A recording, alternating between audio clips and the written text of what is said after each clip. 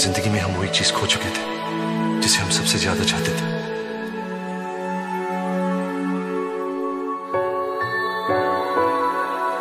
सब कुछ वैसा हो सकता है जैसा था। बस ये थोड़े दिन और जीकर मैं इतना तो जान गया जीने के लिए बस एक ही वजह काफ़ी होती।